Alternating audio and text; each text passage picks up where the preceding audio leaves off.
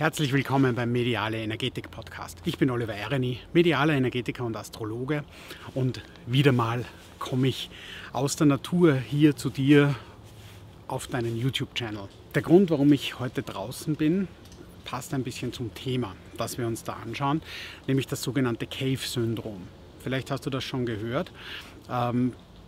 Das ist so ein Thema, wenn Menschen Schwierigkeiten haben, aus der eigenen inneren Höhle oder auch äußeren Höhle wieder herauszukommen, also der Cave.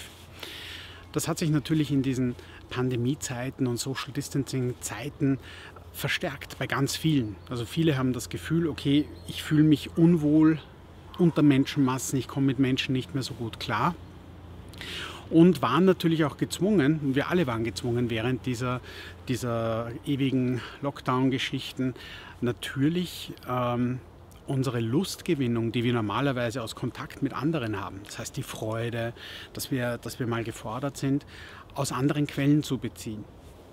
Netflix schauen zum Beispiel oder YouTube schauen. Und da haben wir als Anpassungsreaktion so ein bisschen verlernt, wieder mit anderen in Kontakt zu kommen. Das ist allerdings kein Grund zur Sorge, denn im Prinzip ist es wie gesagt nur eine Anpassungsreaktion und man kann das auch wieder lernen, wieder in Kontakt mit anderen zu kommen.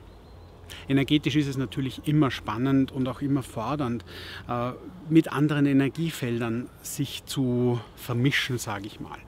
Ähm, weil jedes Feld natürlich immer so gewisse Anpassungsanforderungen stellt.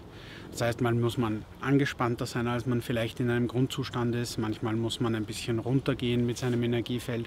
Man passt sich also die ganze Zeit an und das ist dann auch schon mal ganz schön anstrengend, gerade bei so Menschenmassen, Menschengruppen.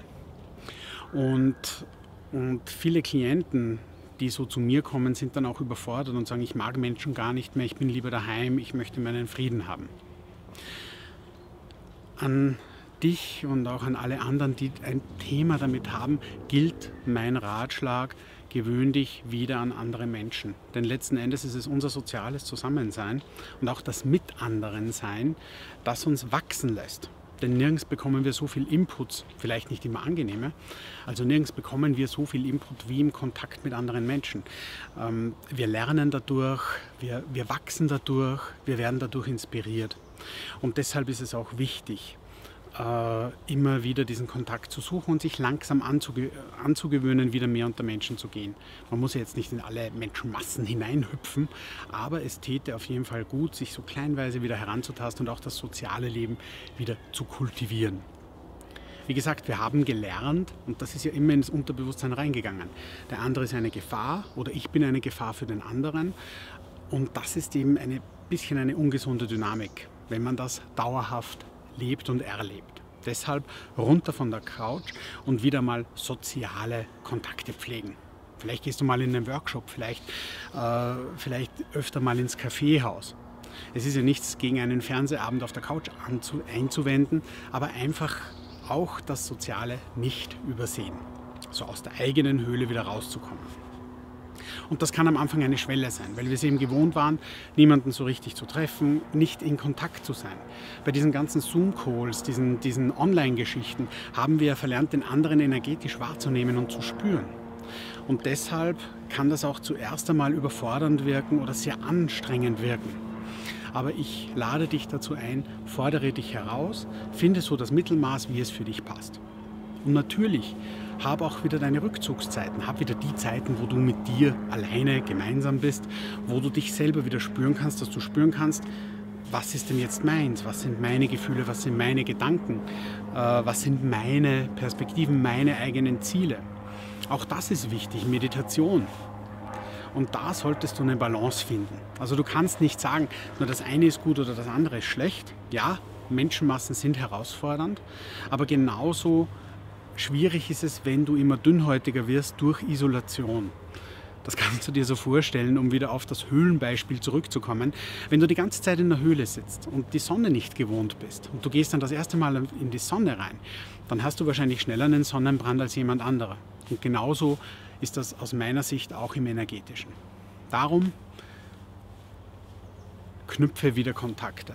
Als Bonustipp würde ich dir wirklich empfehlen, Kontakte über Facebook oder soziale Medien sind keine echten Kontakte. Das sind Nachrichten, das sind Berichte, aber das hat nichts mit der Realität zu tun und nichts mit anderen Menschen zu tun. Wenn du jetzt ein Foto, ein Video von mir siehst, dann siehst du einen kleinen Teil und kannst sagen, okay, der Erin ist da gestanden und hat über das gesprochen. Aber die andere Person, was ich bin, wie ich fühle, bleibt da natürlich verborgen. Du siehst immer nur ein Abbild und gib dich nicht mit Abbildern zufrieden. Das heißt, triff die Leute, komm ins Gespräch mit Leuten und lerne dich auch in Gesellschaften wieder wohlzufühlen. Denn letzten Endes wird es dein Nachbar sein und deine, Leu deine Leute im Umfeld, die dir wirklich helfen können, sollte es mal zu einer Krise kommen.